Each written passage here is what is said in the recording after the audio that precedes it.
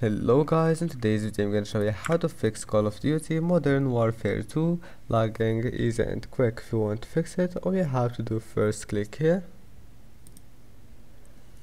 And then go to background apps turn off this option and then type enable Xbox game bar.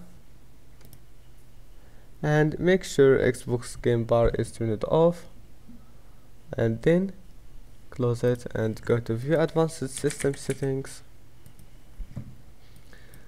Performance click settings adjust for best performance click apply and ok. And after that go to GeForce experience.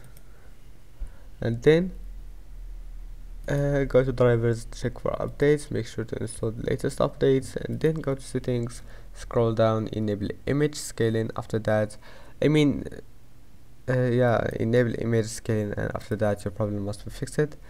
And uh, I hope that can help you. Don't forget to like and subscribe and see you in the next video